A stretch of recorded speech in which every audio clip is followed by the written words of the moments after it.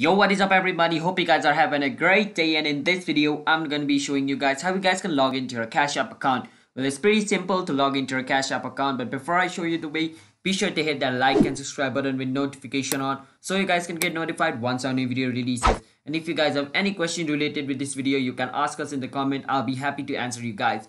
And without any further ado, let's start the video. So if you guys don't know what Cash App is, let me give you a short information. Cash App is a mobile app which is available in Play Store and App Store where you can, you know, download it and like use it as a form of payment. It's basically like PayPal, alright? Then you can pay your friends or anyone using Cash App, alright? So it's pretty simple. It's just the app which is used for payment. It's basically like PayPal in short form.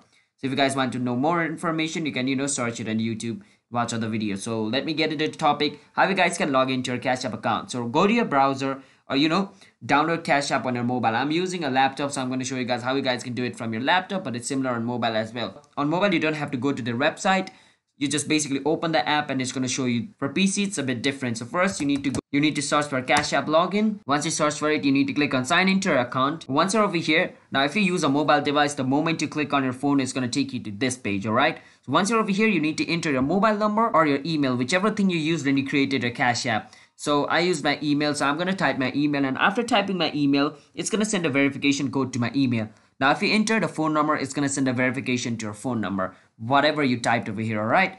Now, it's going to send a verification code and I need to type the verification code to verify if it is me. After that, I need to enter my password and after entering my password, I can enter my Cash App account. So that's basically how you guys can do it.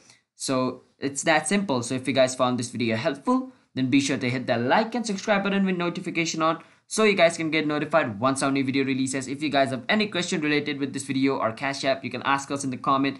I'll be happy to answer you guys and I'll see you guys in a bit. Until then, peace out. Have a nice day. Peace.